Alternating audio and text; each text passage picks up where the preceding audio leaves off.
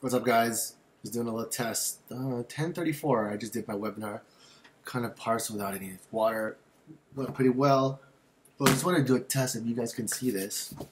Um, I did this exercise with Jack Canfield. But you guys remember Mr. Miyagi? But um, there's this thing called energy. And what Mr. Miyagi was doing was basically using his energy from his power and recently, I've been feeling all these like tingly things on my skin.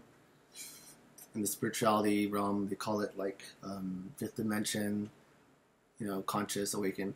And literally, I felt my feet and skin like there's electricity.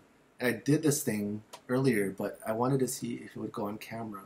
And it's basically a way to see energy. And if you guys watch Dragon Ball Z, you you rub your hands together and what I'm going to do, you have to use your intention and mind. Focus energy in the hands, into my hands. So I'll focus on the energy and see if it plays back.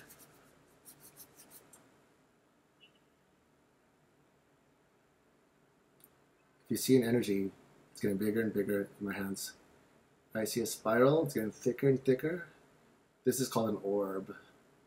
And if you use your intention, it gets bigger and bigger and the last three days, I've been able to create these orbs by putting my attention.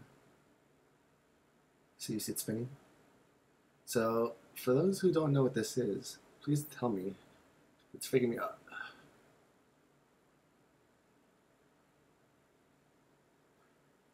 There.